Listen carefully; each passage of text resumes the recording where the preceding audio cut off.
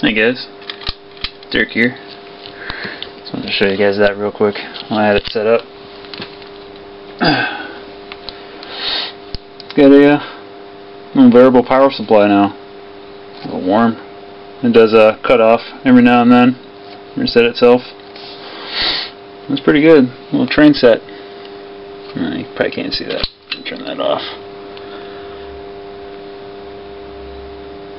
Mirkin. Pretty cool, huh? Got a new bridge rectifier here with some caps. Uh, I whipped up real quick because uh, that other little bridge rectifier that I had, uh, yeah, wasn't cutting it. So I used uh, four fast diodes, high um, high amp rating, rating, yeah, and then uh, yeah, just a little setup, nothing much. Just messing around. I really love those MOSFETs. Uh, Anthony uh, High Voltage One Rules. Uh, yeah, man. If you're watching this, they're they're sick. They're awesome.